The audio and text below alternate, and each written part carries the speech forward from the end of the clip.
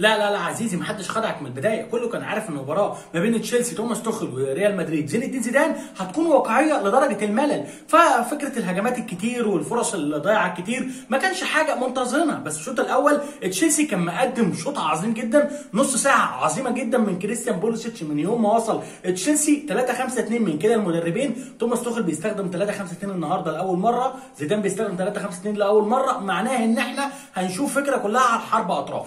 كله عايز يقفل اطراف ناحية المنافس. ريال مدريد عايز يقفل اطرافه وحاطط داني كارفاخال وقدام داني كارفاخال كريم بنزيما وتحتيهم ميليتاو. الناحية الثانية موجود موجود ناتشو وموجود مارسيلو. ناتشو علشان خاطر يغطي تقدمات مارسيلو. وفينيسيوس جونيور قدامهم ناحية الشمال. وفي نص الملعب طبعا لوكا وكازيميرو وتوني كروس.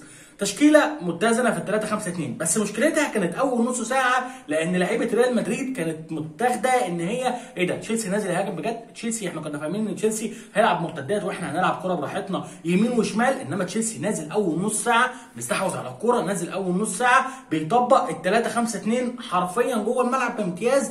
بمستوى عظيم جدا بيقدمه نجولو كانتي وبيقدمه كمان كريستيان بولوسيتش اثنين من نجوم تشيلسي في المباراة النهارده. وبتلاقي ان كل كوره بتكون في رجل لعيبة ريال مدريد.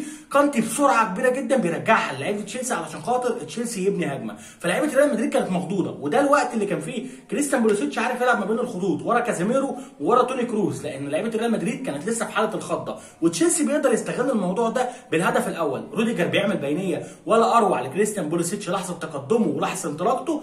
كريستيان بولوسيتش بيستلم وبيحط على على مهله خالص. الراجل بيجيب الهدف الأول تشيلسي ممكن يجيب الثاني وممكن يجيب الثالث تيمو فيرنر كان بيضيع قبل الهدف. كور سهلة عادي ومنطقي. بس لو قعدنا نفكر في البداية البداية بتيمو فيرنر النهارده كانت عليها جدال كبير.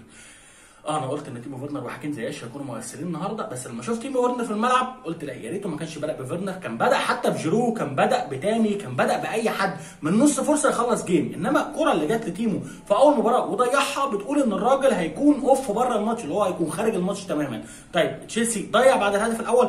طبعا تشيلسي ضيع بعد الهدف الأول. في ظل كل ده كريم بنزيما بياخد كورة لوحده وبيروح بيها هجمه عنترية وبيصوب على إدوارد مندي علشان خاطر يقول لك إن في ناقوس خطر وإن ريال مدريد بدأ يخش في ال game وريال مدريد بدأ يستعيد شخصيته اللي كانت ضايعة تماما أول 25 دقيقة. بعدها بتيجي كورة ثابتة وفجأة لعيبة تشيلسي بيلاقوا إن هما كريم بنزيما قادر إن هو يستغل الكورة اللي لعبها له كازيميرو في الهواء وريال مدريد حقق هدف التعادل. لعيبة تشيلسي كان عندهم خضه كبيرة جدا. إحنا كنا ماسكين مباراة مرة واحدة المباراة قلبت علينا. فجأة ريال مدريد مسك المباراة فجأة ريال مدريد مسك ال game فجأة لعيبة تشيلسي قررت إن هي ترجع تدافع تاني وقررت إن هي هنلعب على المرتدات. والشوط الأول بينتهي واحد واحد في شوط أول عالمي لكريستيان بولوسيتش وافضل شوط ليه قدمه من ساعة ما جه تشيلسي للمرة الثانية بندخل الشوط الثاني كلنا قاعدين مستنيين تغيير تيمو فيرنر. تيمو فيرنر لازم يطلع. تيمو فيرنر مفسد هجمات تشيلسي. غير تيمو فيرنر. مش شغل كويس. أسبليكويتا كويس. قافلين على أطراف ريال مدريد كويس جدا. مارسيلو مش عارف ياخد تقدماته وأريحيته. الهجومية علشان خاطر لاقي ان سيزر أسبليكويتا في مساندة جاية له من نجولو كانتي وجاية له من جورجينيو. الناحية الثانية برده نفس الوضع. جورجينيو وكانتي. كانتي كان نحله النهارده يمين وشمال. فالراجل كان مغطي على الجبهتين هو وجورجينيو. وكنا شايفين كمان إن بن شيلويل اللي عنده تقدمات كتير. كنا شايفين إن في مشكلة واضحة. تيمو فيرنر لازم تغير تيمو فيرنر. لا ساكتين إحنا على تيمو هنرجع ندافع هنسيب الكرة ريال مدريد. ريال مدريد ما عندوش حلول لأن الملعب مقفول تماما بلاعيبة تشيلسي اللي عارفة برضو تطبق ال 3 5 2 في الحالة الدفاعية اللي بتتحول ل 5 3 2 ممتازة جدا. وبتلاقي إن لعيبة تشيلسي واقفة في نص الملعب. خلاص قررنا إن إحنا هنقضيها مرتدات. طيب هنعمل إيه؟ في تغييرات ممكن تحصل.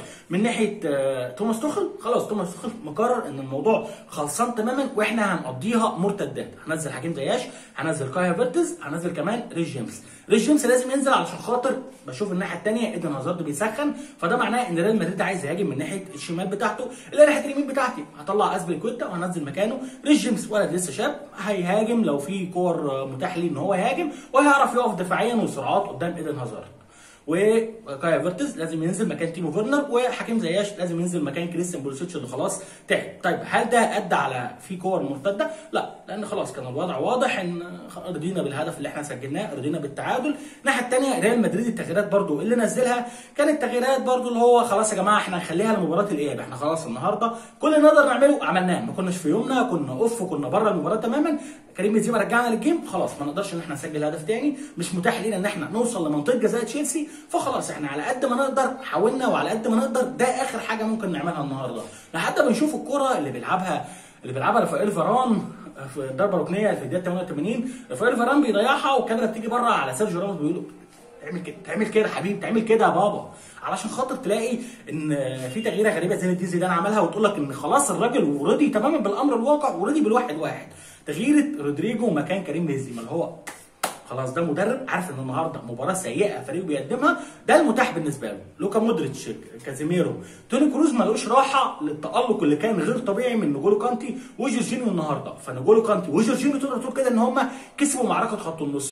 وكمان كريستيان بوليسيتش كان بيلعب بين الخطوط كويس قوي بين كازيميرو وبين توني كروز بامتياز الشوط الأول. ده اللي ما لقوش حكيم زياش الشوط الثاني وده كمان اللي بدأ إن أنت لما لقيت إن ريال مدريد بيرجع يقف جوه ملعبه خلاص كانت ما فيش خطوط تماما تلعب ما بينها خلاص كازيميرو وتوني كروز قفل المساحات فالموضوع كان خلاص انتهى تماما بالنسبة لتشيلسي الأفكار الهجومية لأن أنت كنت بتلعب ما بين كازيميرو وتوني كروز ودي اتحلت بعدها نص ساعة وده اللي ضيع لك الدنيا. لأنك لو فكرت تروح تلعب على الأطراف لقيت إن أنت هي مقفولة. من ناحيتك ومن ناحيته فاتفرجنا على game ممل الشوط الثاني علشان خلاص كان ريال مدريد وصل لل target اللي هو عايزه أطلع في المباراه دي بأي نتيجة بس ما أخسرش. والناحية الثانية شفنا إن تشيلسي خلاص أنا جبت هدف. النهارده قدام ريال مدريد مش عايز أي حاجة ثانية شفت الوضع كان بسيط وسهل إزاي؟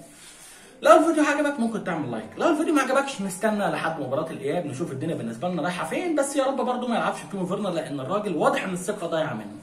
لو عجبك الفيديو ما تنساش تشترك. ولو ما عجبكش ما تنساش إن أنت تقعد تشتم في الكومنتات وتقول اللي أنت عايزه.